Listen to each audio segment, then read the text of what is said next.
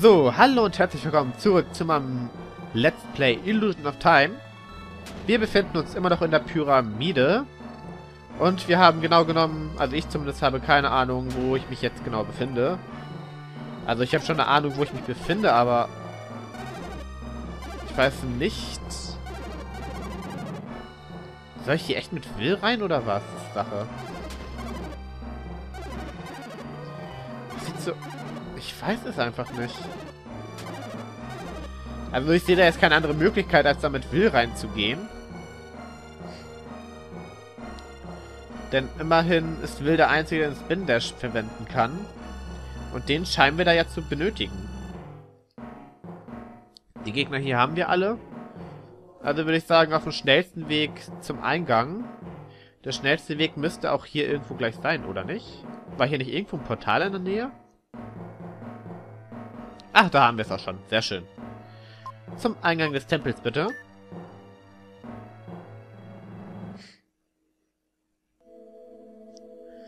Diesmal ohne Hieroglyphe. Die, dafür benötigen wir offensichtlich Will. Also wieder schön langsam hier runter sinken. Wir haben ja Zeit. Ganz viel Zeit. Ach, wir sind da. Sehr schön. Gut. Willi, Willi, Willi, da bist du. Will, zurückverwandeln. Ja.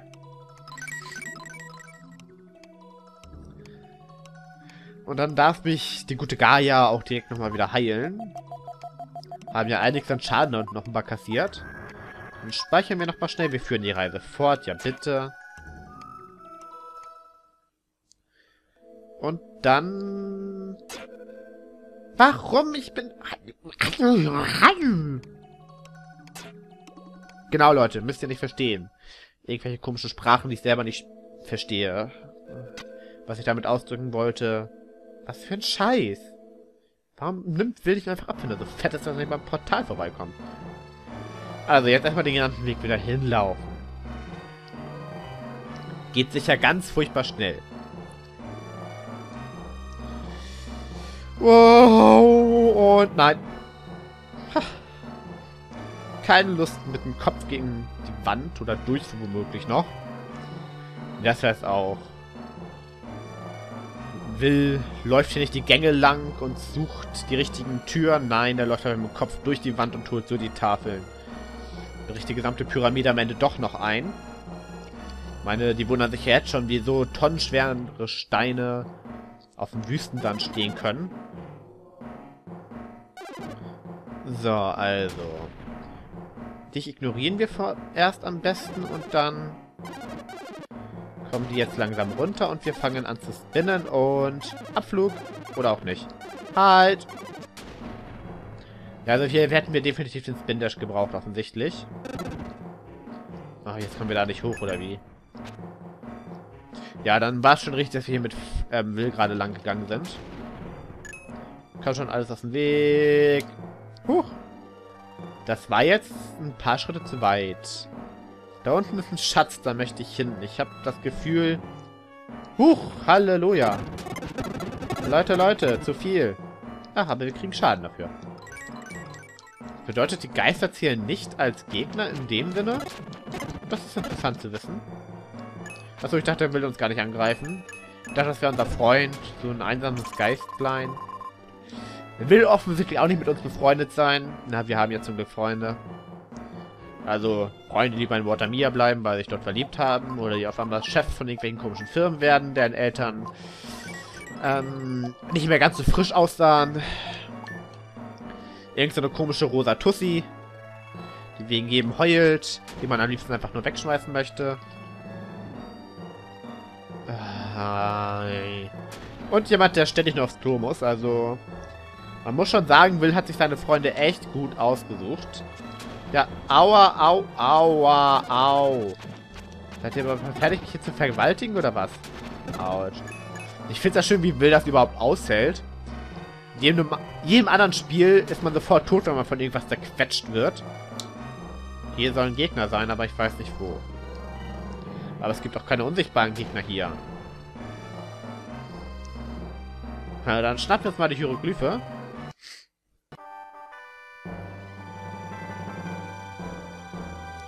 Du hast eine der Hieroglyphen gefunden.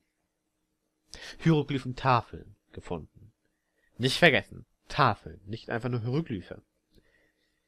Ist ja nicht, ist ja kein freischwebendes Zeichen, sondern ist ja ein Zeichen auf einer Tafel. So, dann schauen wir uns doch mal direkt an. Ist das das vierte Zeichen? Schraubenschlüssel und irgendwas, was aussieht, als würde eine Sonne in die Luft werfen. Und das hier sieht aus, wie ein Mensch aussieht, als würde eine Sonne in die Luft werfen. Scheint also richtig zu sein. Ach, hier haben wir einen unsichtbaren Gegner, oder was? Tatsächlich. Noch saufrecher geht's ja wohl bald nicht mehr. Da ist ja noch einer. Wird ja mal besser hier.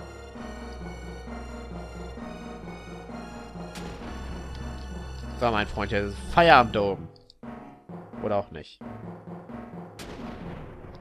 Nächste Runde Feierabend. Ah. Autsch, ouch. Autsch. Autsch. Ich sterbe hier noch. Ich sehe mich hier schon sterben. So, jetzt raus hier. Danke. Und jetzt erstmal schön langsam wieder aufladen. Ja, sorry Leute. Das dauert hier wohl noch ein paar 30 Jahre. So, jetzt aber. Und hoch da. Jawolle. Und damit ist dann auch dieses unsichtbare Mistviech Geschichte. Ja, nun komm hoch da. Geht doch. Also diese unsichtbaren Adlerköpfe regen mich schon auf, ne? Das Dumme ist, aus denen kannst du ja nicht mal mit Wings machen. Sind ja nur noch die Köpfe dran. Und die ist ja keiner. Würde ich auch nicht machen, wenn ich ehrlich bin. So, vierte von links bitte. Aber so langsam nähern wir uns ja dem Ende des Spiels. Also dem Ende des Dungeons, muss man ja sagen. Fehlt ja nun, fehlen nur noch zwei Gänge. Und haben wir jetzt eigentlich das fünfte Rote Juwel gefunden? Ich muss unbedingt nochmal nach Dao gehen vorher. Bevor wir die letzte Hieroglyphe einsetzen, weil dann geht es schon weiter. Weil ich habe ansonsten echt keine Ahnung, ob wir alle roten Juwelen haben. Am Ende sollten wir 49 haben. Das heißt, uns fehlt eine, den find, die finden wir dann in, im Turm vor Babel. So, ich lasse mich reiten, dann muss ich gleich mal wieder hochrennen, weil ich direkt am Rand der Plattform... Das könnte sogar noch passen. Wow. Okay, ich wollte gar nicht wetten, überhaupt nicht. Nein, ich habe sofort gewusst. Ich wollte es nur spannend machen. Weil auch so spannend ist, dieser blauen Kugel beim Absinken runter zu, zuzugucken. Ich wollte schon wieder B drücken. Ich hab mir innerlich schon auf die Zunge gebissen für meine Dummheit und dann habe ich es gerade noch so gerettet. Also ich hoffe, dass wir diesmal mit dem guten, wie heißt der Typ jetzt noch? Shadow richtig liegen. Also auch den richtigen Kompagnon hier haben. Oh, 15 Schaden ist schon mal nicht schlecht. Wie viel Schaden machen wir jetzt eigentlich insgesamt? 38 Stärke haben wir mit dem blauen Geist. Wie heißt er noch? Shadow. Waren hier nicht... Ah, nee, die Mumien waren auf der anderen Seite. Also auf dem, im anderen Gang. Hier werden wir... Also ich lehne mich jetzt mal weit aus dem Fenster und behaupte, hier werden wir Freedom benötigen. Aber hier können wir runter. Und das wiederum erweckt meine Neugier, ob wir hier nicht vielleicht... Alter Schwede, euch geht's zu gut, wa? Ob wir hier nicht vielleicht die Truhe finden. Oh. Vor allen Dingen finden wir hier einen Gegner, dem wir jetzt dummerweise ausgewichen sind. Ja. Hier haben wir die Truhe mit dem roten Juwel. Direkt mal wieder ausrüsten und dann müsste nur noch eines fehlen, also nur noch ein rotes Juwel. Und dann werden wir uns mal direkt in Frieden verwandeln. Nachdem wir gleich erstmal wieder oben sind. Muss hier alles seine Ordnung haben. Und direkt wieder runter. Runter. Sehr schön. Ich habe ganz vergessen, dass die Pyramide so aufwendig ist. Aber okay, wir haben es ja bald geschafft. Und das Finale wird episch. Also zumindest teilweise. so, wir sollten aber jetzt so lange echt mal die letzten bleiben verbliebenen Lebensjuwelen finden. Ja, wir sind verwundet. Speichern, fortführen. Danke. Ja, guter Friedan. Kleines Erdbeben? Gerne doch. Na schade. Ich hatte gehofft, die Pyramide bricht zusammen, aber leider tut sie es nicht. Auf jeden Fall sehr erdbebensicher gebaut, muss man ja sagen. Aber ich vermute mal, dass einfach so viel so wie unter der Erde liegt. Das Fundament einfach auch so tief in der Erde vergraben, dass ähm, die Pyramide einfach alles aushält. So, aber hier müsste jetzt doch was runterfallen, oder? Ha, ich wusste es doch. Irgendwas so in der Art war da. Oh, jetzt kommt auch das letzte. Sehr schön. Okay. Hat das Spiel seine Meinung also auch zu der Situation kundgetan? Soll es gerne tun. Was war das gerade für ein Satz? Ich habe keine Ahnung. Klang auf jeden Fall etwas wirr. Noch eine Schatztruhe gibt es hier nicht. Fünf Gegner haben wir hier noch. Jetzt nur noch drei. Davon sollen wohl welche unsichtbar gewesen sein. Oder sind da hinten? Eins von beiden. Hier ist schon mal so ein unsichtbarer Kopf. Also den ist vorbeigegluckert. Ähm, und hier haben wir nochmal so eine Geschichte. Und wo sind die beiden Totenköpfe? Sind scheinbar wieder unsichtbar. Oder auch nicht. Ja, dann holen wir doch die Platten direkt mal wieder runter. Doch, da sind doch eindeutig welche unsichtbar. Ja, ich wusste es doch. Hier waren welche unsichtbar. Also, wow, ein Lebensjuwel. Fehlt ja nur noch eines. Sind wir noch bald mal da? Ne, 20 Gegner noch. Und keine Schatztruhe mehr. Ach, Mumien, wie süß. Der kommt her. Put, put, put, put, put. Kaputt. Eines finde ich schön. Ich finde schön, wie man hier mit echt nochmal allen durch muss finde, das unterstreicht nochmal diese Finalwürdigkeit des Ganzen. Jeder... Wird einfach alles nochmal benötigt. Also von jedem Charakter eine Fähigkeit. Auch wenn wir hier jetzt schon wieder sehr viel mit Shadow machen könnten. Moment mal, kann man dich nicht ganz einfach mit dem Dark Fire erledigen? Ja. Okay, ich habe deren Schwäche gefunden. Es ist eindeutig der Dark Fire. Ach komm, die Geister sind jetzt auch kein Problem mehr. Sind das drei oder neun Gegner? Neun Gegner noch. Lad am besten schon mal den Darkfire auf. Dauert dann zwar etwas lang, länger, aber okay. Nee, ich möchte erst nochmal nach oben. Erst alles einzeln abchecken. Wobei, ich glaube, ich habe da gerade einen Teleporter gesehen. Ach, ich habe keine Ahnung. Ich gehe jetzt einfach hier mal runter und dann schauen wir, was uns da erwartet. Mumien. Aber davon ganz schön viele. Kaputt. Oh, ich liebe den Darkfire einfach, ne? Er ist einfach das Nützlichste. Okay, es kommt noch ein nützlicher Skill im Spiel. Aber wirklich erst am Ende. Ach ja, jetzt hast du schon wieder... Aha. Warte, kommen die Treppen nicht hoch. Nein, wie schön. Ach, irgendwie doch. Und dann überlebt er den Darkfire noch. Ist doch wohl nicht wahr. Ähm, wo bin ich denn jetzt? Achso, hier ist eine Treppe nach unten. Das macht mir Mut, dass ich richtig bin. Hier ist ein Unsichtbarer. Also hier war ein Unsichtbarer. Da können... Ach, da hätten wir runterspringen können. Und da scheint noch was zu sein, oder nicht? Darkfire, ja. Und gefunden. Komm doch mal her. So, jetzt haben wir hier noch zwei Gegner. Ich glaube, die habe ich auch schon gesehen auf der Karte. Die müssten hier hinten irgendwo sein. Ja. Ha, sehr schön. Und wir kriegen noch etwas Schaden dazu habe mich schon gewundert, ob sich das irgendwie noch ausgleicht, weil wir haben jetzt ja, wenn wir hier mal den Status anschauen, 29 Stärke und 30 Abwehr. Ich finde das etwas unausgeglichen. Hier ist eine Steintafel in der Wand und da hörte ich, dass sich um ein Hieroglyph handelt. Der zweite Vogel. Da erinnere ich mich noch, der erste oder fünfte. Den ersten haben wir schon eingesetzt, also bleibt noch der fünfte Platz.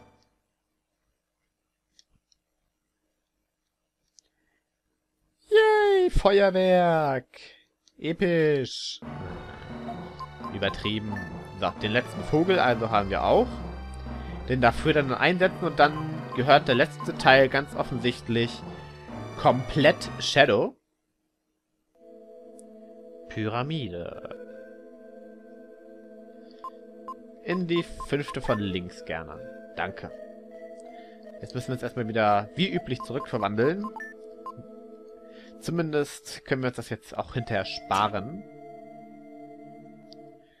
Und dann müssten wir soweit eigentlich schon bald wieder vollständig sein. Wird sehr witzig, dass man hier am Ende keine Heilkräuter mehr findet. Das heißt, wenn man nicht fleißig war, hat man am Ende keine Chance mehr hier. Oh, ich bin dumm. Ich habe noch gesagt, ich möchte hier oben nicht speichern und jetzt tue ich es trotzdem. Ach, ja. Komm, lass mich einfach runter.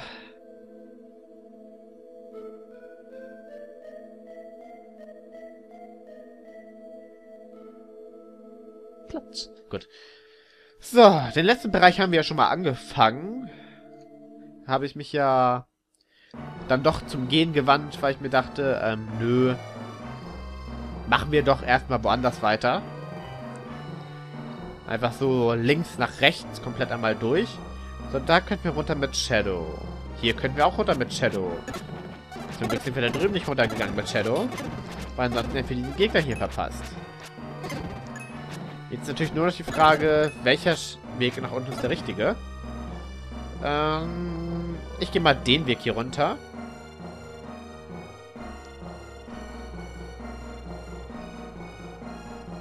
Und soll dafür direkt wieder hochgehen. Was ist das dann hier für eine Nummer? Ah, genau, das meinte ich. Seht ihr? Ja. Richtig. Ah, diese... Das ist wirklich fies. Das heißt, wir müssen jetzt ganz genau darauf achten, ob da vielleicht Durchgänge drin sind. Komm schon, stirb einfach.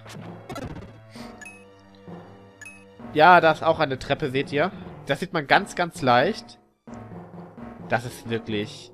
Das ist ausgeflügelt. Hier waren wir schon? Wann das denn? Ach, hier sind Gegner. Okay. Nur einer oder noch ein zweiter? Offensichtlich nur der eine. Na, kann man hier irgendwo durch? Offensichtlich nicht. Oder Shadow ist einfach nur zu fett. Aber immerhin kann er sich ja flüssig machen, also wird es ja wohl auch nicht so schwer sein. Finde ja auch mal irgendwie, der könnte sich mal was anziehen. Ich meine, wenn man mal so guckt, man könnte... Das sieht alles. Der, ah. So. Übertrieben durchtrainiert. Sagt erst was von wegen groß. Ah ja, ich übernehme den Körper von dem, den... Ich kann Körper übernehmen und dann kommt da sowas raus und ich finde ja eindeutig, dass Will nicht so aussieht. Auf der anderen Seite frage ich mich, ob ich, Will, ob ich Will überhaupt nackt sehen möchte. Und da lautet die Antwort irgendwie nein. Aber ich kenne gewisse Mädchen, die wollen das. Die nennen sich Kara, sind rosa und möchte man am liebsten zum Mond schießen, wenn man denn dürfte. Müsste hier nicht irgendwo... Ich muss nochmal schauen wegen der Schatztruhe. Aber jetzt müsste ja auch noch ein rotes Juwel fehlen, wenn ich mich nicht irre. Noch mehr Mumien. Das heißt, wieder schön für aufpassen. Hier ist nichts drin. Autsch. Ich schaue einfach trotzdem nach, auch wenn man dahinter keine Treppe sieht. Kann ja sein, dass es keine Treppe ist, sondern sonst irgendwie ein Durchgang. Äh, ja, das sieht doch schon wieder prädestiniert dafür aus. Das hat so eine komische Aufmachung hier. Na, komm her. Danke. Nein und nein. Und noch weiter hoch haben wir noch mehr Mumien. Ach, und diesmal wieder einen Herrn Kollegen Laser. Und tschüss. Ach, der lebt sogar noch. Ich finde einfach nur gut, dass wir auf dem gesamten Weg offensichtlich nie ein Leben gebraucht haben. Ach, da ist schon wieder eine Treppe. Ich wusste es doch. Schauen wir uns doch mal da um. Hier ist der Teleporter. Und die letzte Hieroglyphe. Hätten wir die dann auch schon mal gefunden, müssen wir uns merken. Aber es gab in dem letzten Bereich ja auch noch ein paar Gegner, die hätte ich dann auch gerne noch mitgenommen. Hä? Hm? Lass mich gehen. Danke. Damit haben wir aber schon mal, schon mal alle Hieroglyphen. Das übersieht man auch echt einfach nur grausam schnell, ne? Achtet man aber auch gar nicht so schnell drauf. Ach, schon wieder. Ach, ein Unsichtbarer war da, okay. So, damit haben wir wohl alle Gegner. Aber ich glaube noch nicht alle Juwelen. Ist dann natürlich auch eine Frage, wo ist das letzte Juwel? War der Bereich so klein? Der war doch nicht so klein.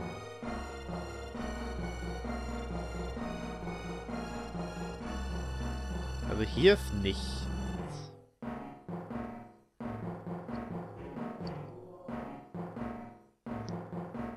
Ha. Hier geht's runter irgendwo anders hin, aber ich glaube, nee, von, ich glaube, von hier kamen wir doch, oder? Hä? Ah, nee, hier war der Unsichtbare, okay. Wo ist denn das letzte rote Juwel? Ha.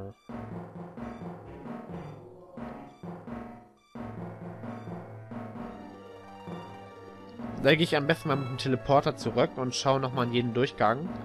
Vielleicht finden wir ihn dann ja. Also das rote Juwel. Also hier ging es da runter.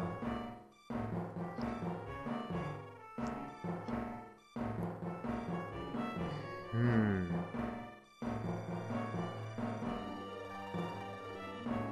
Mysteriös.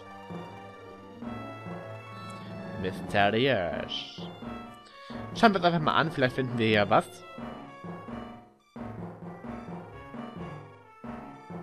Nee, wie zu erwarten war, wir rutschen hier einfach nur komplett runter. Dann müsste ich mal überlegen.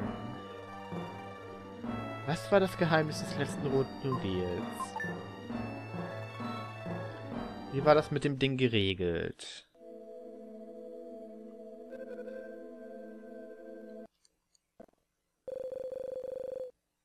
Nein! Okay, die Cutscene müssen wir uns jetzt noch anschauen. Begib dich lautlos nach links. So ist es gut. Und nun nicht bewegen. Der Schakal. Ich kenne deine Geschichte. Ich hörte von einer alten Biotechnologie, die das Licht eines Kometen nutzte. Das warst du. Mit der Gabe, deinen Körper zu verändern, kannst du alles erreichen. Die Menschen werden dich anbeten. König Edward beauftragte mich, ihm deine Kräfte zu bringen. Mein Vater? Ja, er ist dein Vater, aber er ist auch der König. Er würde alles tun, um noch mehr Macht zu erlangen. Er ist wahrscheinlich noch böser als ein Teufel wie ich. Hör auf damit. Egal, mir geht's nur um das Geld, um Reichtum. Folge mir in Edwards Schloss. Wir hören ein Flüstern. Will, spiel die Flöte. Will. Auch dafür verwandeln wir uns sogar extra noch zurück. Wir haben ja schon gehört, es gibt hier in dem Raum wohl eine Falle, die auf Geräusche reagiert. Ja, und dann schauen wir uns nochmal an, was Lolas Melodie anrichtet. Ein letztes Mal, dass wir sie erklingen lassen. Diese schöne Melodie.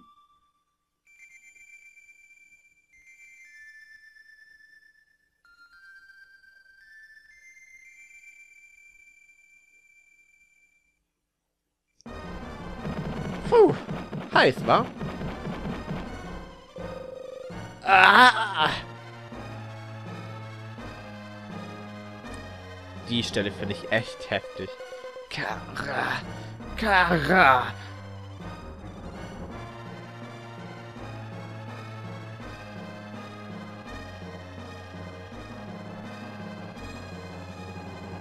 Achtet mal auf das Weiß in seinen Augen. Habt ihr gesehen, das ist komplett erloschen. Will. Warum nur hassen sich alle Menschen?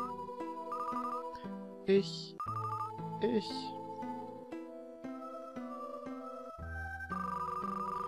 Tut mir leid, Will. Ich mache immer Ärger.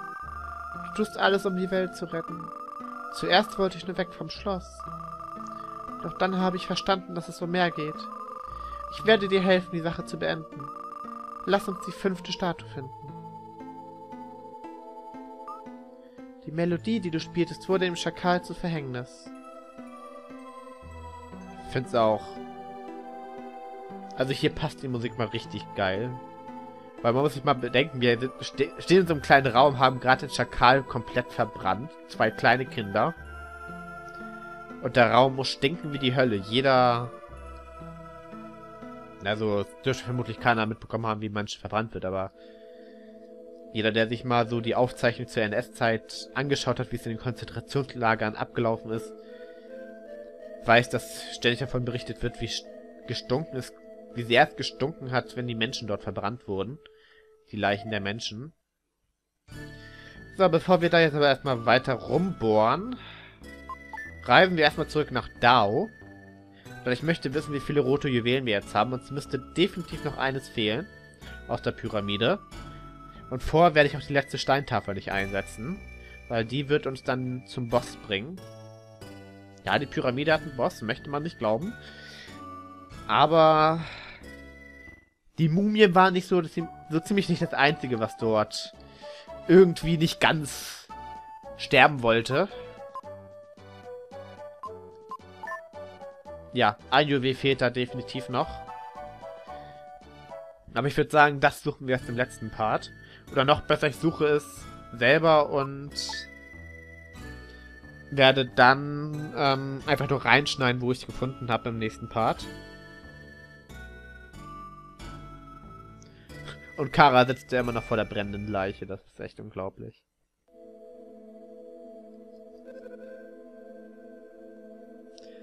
Ja, aber so kam dann alles irgendwie zum Ende in dieser Pyramide.